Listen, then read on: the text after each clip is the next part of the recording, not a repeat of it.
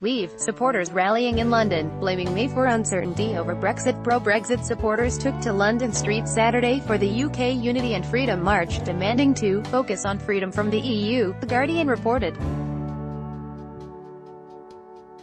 The demonstration was opposed by a rival rally, backed by the George Soros-backed group Best for Britain, which is calling for a second referendum.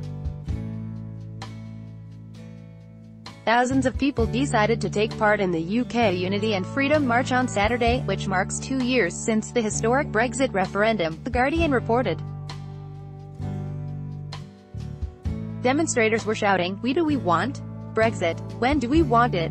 Now, whose country? Our country, as well calling to free Tommy Robinson at the rally. Most of them hold banners, We want our country back, and Make Britain Great Again. Some of the speakers attending the rally have blamed the government, namely Prime Minister Theresa May, for uncertainty over the Brexit, insisting that British people had made their choice during the referendum and this choice should be respected. As they explained, most of the current member of the UK government supports staying in the European Union, thus creating obstacles for the talks. The organizers focused on freedom from the EU, freedom from terror, freedom of speech, freedom from Sharia law and unity of all people irrespective of race or creed, as they have previously vowed. Some right-wing political figures attended the rally, such as UKIP leader Gerard Batten, members of the Pegida Group, as well as the English Defence League. The demonstration started in Victoria at 2 p.m